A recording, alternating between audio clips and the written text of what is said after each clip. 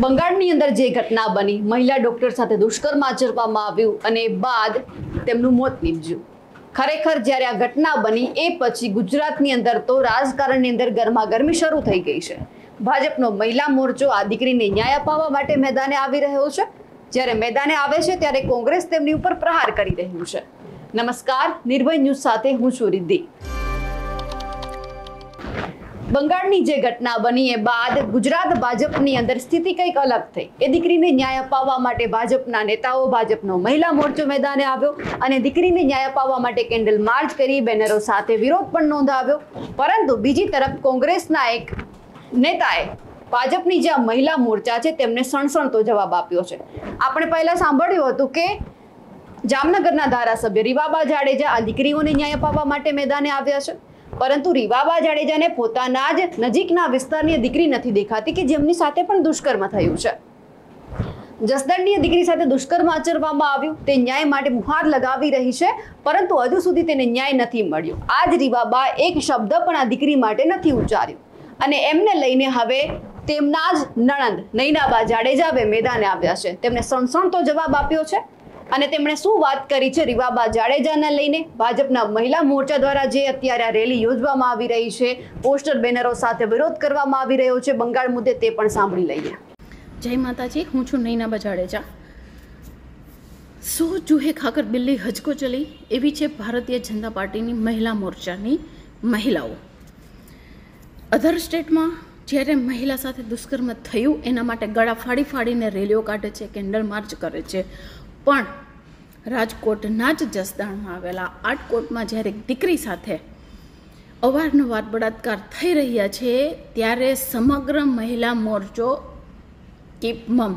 કારણ કે એમાં ભાજપના નેતાની સડોમડી છે, એટલે ત્યાં કાંઈ ન બોલી શકાય. અને જ્યારે બીજા સ્ટેટમાં આવું થાય છે, બીજાની સરકાર છે, ત્યારે એમની ઉપર પ્રહારો કરવા છે. પણ પોતાના જ ભાજપના નેતાઓ જ્યારે આવા કોઈ રેપમાં ઇન્વોલ્વ છે. ત્યારે બોલવું નથી. ત્યારે કેમ કેન્ડલ માર્ચ ના કરી? ત્યારે તમે કેમ રેલી ના યોજી? કે કેમ કોઈ પણ મહિલા નેતાએ આવીને એના માટે સ્ટેટમેન્ટ ના આપ્યું? કેમ એના માટે અવાજ ના ઉઠાવ્યો? ઘડી ઘડી રંગ બદલો છો? અને એક નેતા તો સંવેદના અને બહુ મોટી મોટી વાતો કરો છો કે દુઃખદ ઘટના છે. ત્યારે તો આ બાજુમાં જ હતું. ત્યારે કેમ એની ખબર પૂછવાનું ગયા? એની એફઆઈઆર કોઈ નથી લેતું. ત્યારે કેમ તમે એની પાસે ગયા નહીં અને પૂછ્યું કેમ નહીં કે તમારી કોઈ એફઆઈઆર નથી લેતું? તો અમે તમારા માટે ઊભા છીએ. અમે તમને મદદ કરશું. કેમ ગુજરાતની દીકરીઓ તમારા માટે કાંઈ મહત્ત્વ નથી ધરાવતી? અને ખાસ રાજકોટ અને જામનગરની નજીક જ છે ને? મહિલા મોરચાની નેતાઓ નીકળી પડ્યા છો. ગુજરાતમાં તમારી દીકરીઓ સાથે શું થઈ રહ્યું છે એની તમને કાંઈ પડી નથી અને બીજા સ્ટેટમાં જ્યારે કંઈ વસ્તુ થઈ રહી છે, એના માટે તમે અહીંયા હો હલ્લા કરો છો? તમે કેટલી પાસે ગયા? કેવી આવી દીકરીઓને મળ્યા? કે જેની કોઈ એફઆઈઆર પણ નથી લેતું? બીજા સ્ટેટની દીકરીઓ માટે તમારા માટે સંવેદના છે, ગુજરાતની દીકરીઓ માટે સંવેદના કેમ નથી તમારી પાસે? જ્યારે ખાસ કરીને ગામડામાં. પછી આ સુરતનો કિસ્સો હોય, જેતપુરનો કિસ્સો હોય અને હમણાં રાજકોટનો કિસ્સો કેમ ના હોય? ત્યારે તમારી સંવેદનાઓ કેમ મરી જાય છે? કારણ કે તમારા ભાજપના જ નેતા એમાં ઇન્વોલ્વ હોય છે એટલે? ત્યારે તો તમારાથી નથી બોલાતું કે અમને ખૂબ દુઃખ છે, તમને શું તકલીફ છે, અમારી સંવેદનાઓ તમારી સાથે છે, તમને ન્યાય મળવો જોઈએ. ત્યારે કેમ ન્યાયની વાતો નથી થતી? હાલી નીકળ્યા છો? બહુ એટલી તકલીફ થતી હોય તો જાઓ દીકરી પાસે. એની એફઆઈઆર લોન્ચ કરાવો. એમના માટે એક્શન લેવાય છે કે નહીં એ ધ્યાન રાખો. કેન્ડલ માર્ચ લઈને નીકળી પડ્યા છો. ગુજરાતની દીકરીઓ માટે કંઈ સંવેદના નથી તમારામાં? કે તમારા માટે કોઈ મહત્વ જ નથી ગુજરાતના લોકો માટેનું?